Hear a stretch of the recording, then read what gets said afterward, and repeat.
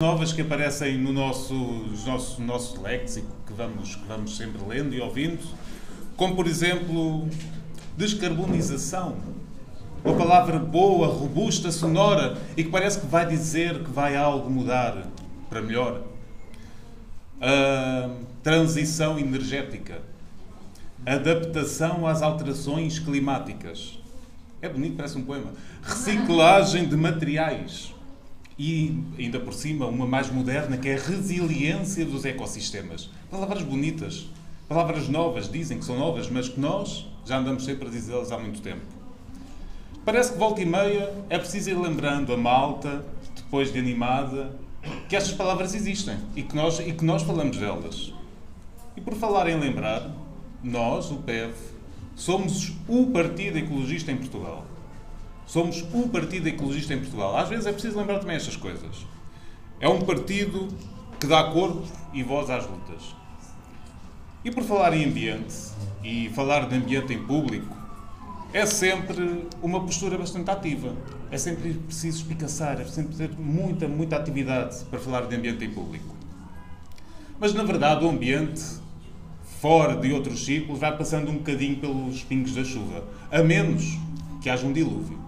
E quando há um dilúvio, aparecem as desgraças, aparecem as tragédias, então lembram-se os poderes decisórios que, afinal, negligenciaram a presença do ambiente.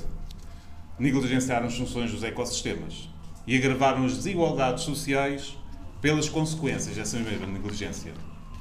Por falar disso, falar de ambiente é cada vez mais marcar uma posição. E longe de quaisquer modas ou de quaisquer causas. Falar de ambiente começa por desconstruir a ideia do próprio ambiente. O ambiente é bastante mais do que as montanhas e os rios limpos, as ruas das cidades com árvores, os pássaros que cantam livres e também não abusar do avião ou evitar o plástico. O ambiente é o espaço onde nós habitamos, onde nos formamos, onde trabalhamos, onde avançamos, onde exprimimos a nossa cultura. Temos de o manter digno. É a nossa primeira ferramenta, o ambiente construída com todas as imagens e representações que nos dão as condições para seguir vivendo e, de, e deixar esta ferramenta em tão bom estado para que os próximos vivam ainda melhor. Com alegria, paz, liberdade, saúde, habitação, dignidade. Na verdade, tudo isto anda ligado. Todo o planeta anda ligado. E travar as agressões ao nosso planeta é uma luta política que começa no nosso sítio. Falar de boas condições do ambiente, território e sociedade implica confrontar os grandes poderes económicos que existem na sociedade portuguesa. E, afim ao cabo, o que é que tem em comum este modelo industrializado de fazer agricultura, a mineração em céu aberto, os grandes loteamentos em cima de áreas naturais e até vulneráveis? O que tem em comum é encararem o ambiente e as populações como um empecilho à sua ganância. Porque, quando é preciso, este capitalismo predatório vai explorar o ambiente e as populações exatamente do mesmo modo. A luta ambiental é, na sua gênese, uma luta social, sem modas e sem causas.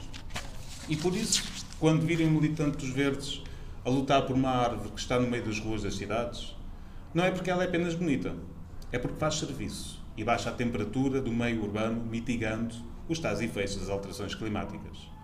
Quando nos virem a lutar pela naturalização das ribeiras e dos taludes nas próprias zonas urbanas, não é para fazer nenhum lobby que aquilo é bonito.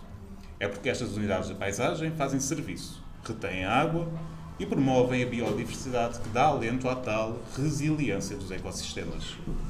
E quando nos virem lutar por uma carreira de autocarro ou por uma linha de comboio, não é porque elas ficam bem na paisagem. É porque fazem serviço ao reduzir as emissões para a atmosfera que os automóveis provocam. E assim estamos a promover a tal da descarbonização. Quando falamos em proteger as zonas rurais e de baixa densidade, é porque quem lá mora precisa ter acesso de qualidade à saúde, à educação, ao lazer e continua a povoar um território que se quer vivo, dinâmico e com oportunidades. E seguro.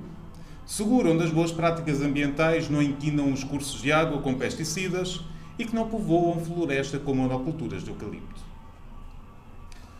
Amigos, amigas, companheiros e companheiras, Tal como nos ecossistemas, nenhuma política de desenvolvimento humano, de capacitação da gente e com respeito social, se faz sem ter em conta a vontade, a energia das populações. E se as populações reivindicam essas próprias soluções, a atuação tem de ser no ambiente em que elas se encontram. O ambiente não é a base, é o elo que nos liga. E então este ambiente que passou de um tema marginal e minoritário é agora o centro da luta dos jovens também. Os dramas e os crimes ambientais são em primeira linha sociais.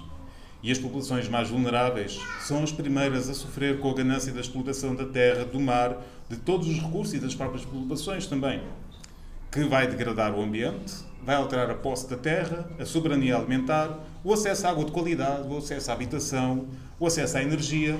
E é claro que a gente se irrita com isto tudo. Pois claro que se irrita.